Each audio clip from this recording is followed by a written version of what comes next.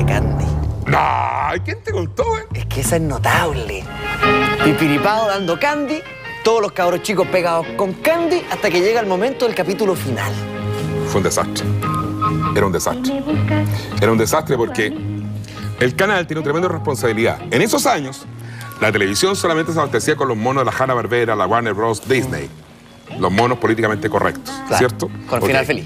Pero viene eh, Víctor Bielefeld, gran creador del Pipiripao, que fue el director de la época, y dice, vamos a hacer un vamos a nutrir tres horas, como tenemos departamento de prensa, por sugerencia eh, de su momento, vamos a hacer tres monos animados a la hora noticiario. Y de hecho significó que Patricio Bañado en la revista Hoy publicó, en rating gana el Pipiripao a 60 minutos, y comparaba a 60 minutos, ponía a la tía Pucherito, verso Raquel Argandoña, a mí con Don Raúl Mate, imagínate, y a Pepe Abad con el fantasma, es decir, ganan más. Y, puso la foto Pato Bañado con las cifras del rating. Y ahí nos pidieron correr un poquito, pero contraprogramamos con las noticias, generamos la necesidad del segundo televisor.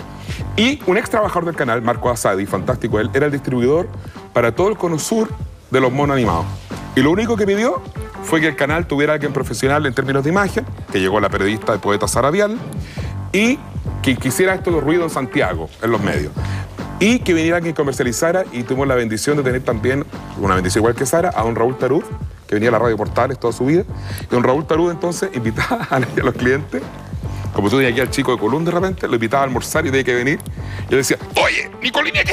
¿Verdad que tú recibes muchas cartas, Nicolini? Muchas cartas. Nada, recibimos dos el primer tiempo.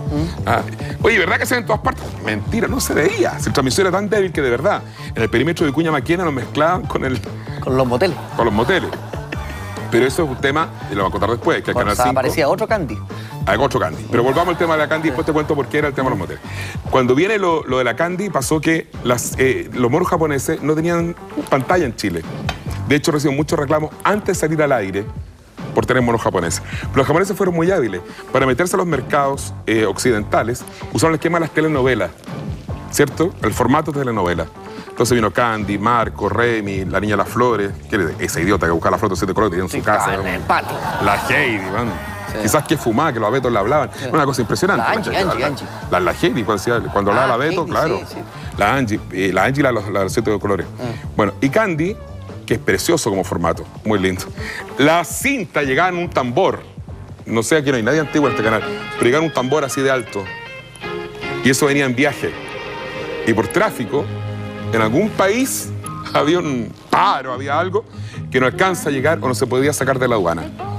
Y teníamos un rating salvaje. En la segunda nos había hecho Ítalo Pasalagua, siempre muy cariñoso con Ana Josefa Silva.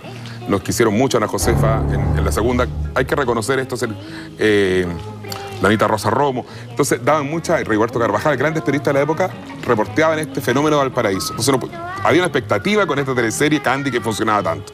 Lo que yo me alcanzo a acordar de los, de los periodistas, Gran Toño Freire. En fin, la gente que en su columna de espectáculos fueron muy cómplices nuestros, como canal chico.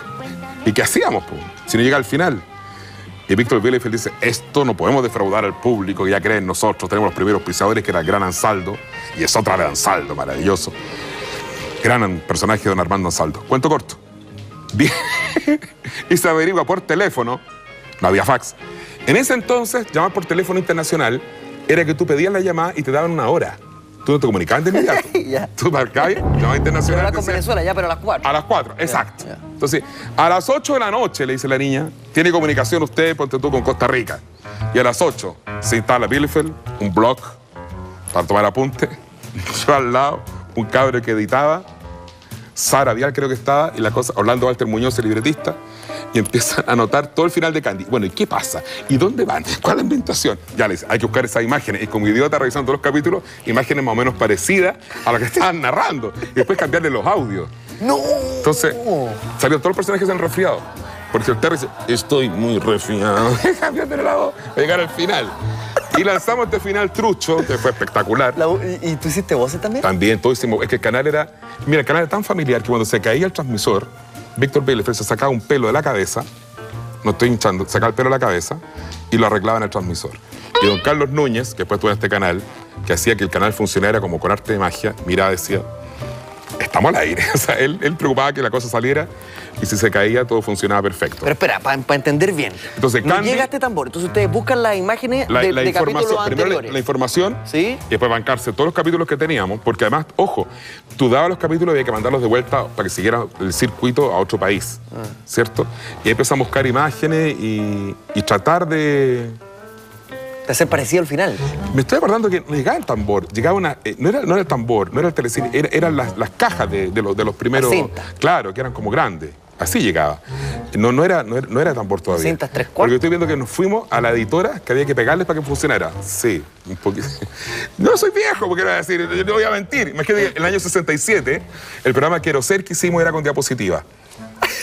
¿Cachai? Ya.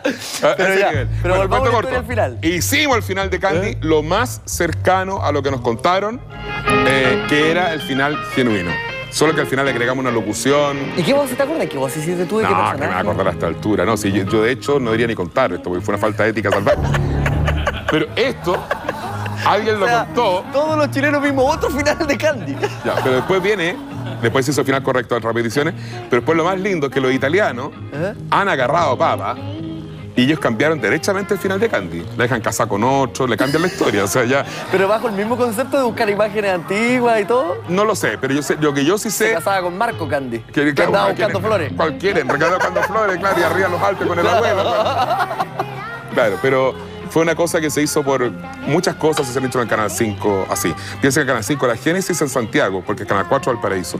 Cuando es Canal 5 es porque la ley Hamilton, que fue muy mala para nosotros, como televisora de Valparaíso, para nosotros, me incluyo, eh, para nosotros en el exilio, cuando surge la ley de televisión universitaria, Alessandri que dice, llega televisión en Chile, entonces se ordena a las universidades para que no se convierta en algo comercial.